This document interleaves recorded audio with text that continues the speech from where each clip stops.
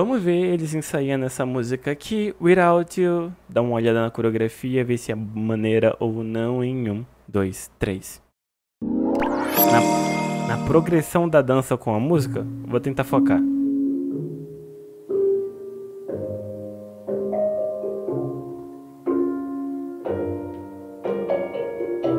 Marcando o timing.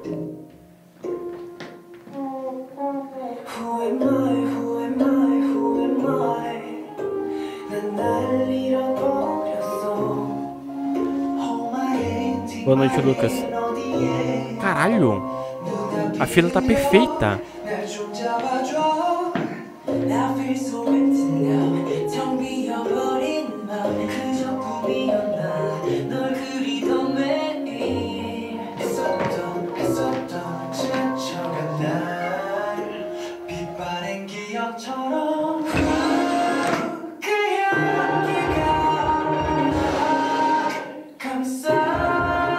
Então, Felipe, eu tô aqui só pra ver a dança mesmo. Nesse vídeo, eu tô focando completamente em focar na coreografia.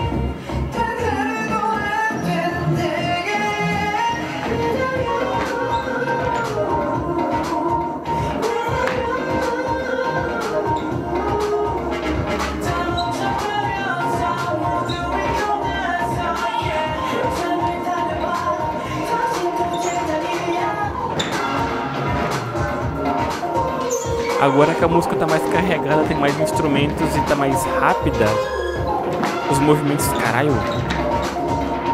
Caceta! Os movimentos estão bem mais rápidos.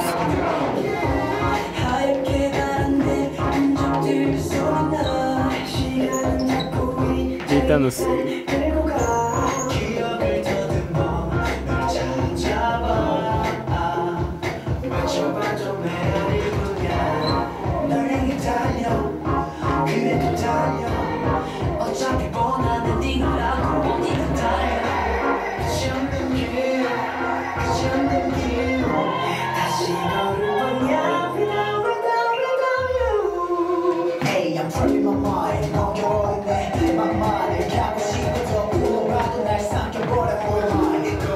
Tipo, eles estão controlando a velocidade da coreografia de acordo com a velocidade do instrumental.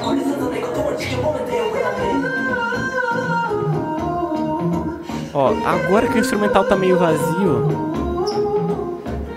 tá mais suave, tá mais leve. E agora, teoricamente, que o instrumental tá vindo mais forte,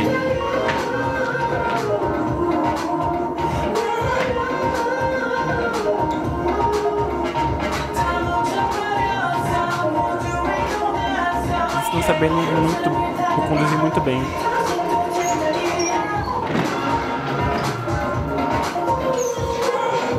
Foi esse trecho depois do refrão.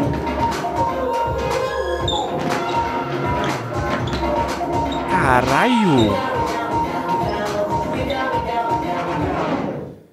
Eu lembro quando eu gravei react pra essa música. Eu não gostei tanto dela justamente porque, pra mim, ela parecia ser meio que, tipo, tava faltando um peso no instrumental. Eu, eu lembro disso. Eu queria até que ela tivesse um, um tipo uma presença mais encorpada do instrumental e ter um grave mais forte, a percussão mais forte durante a música inteira.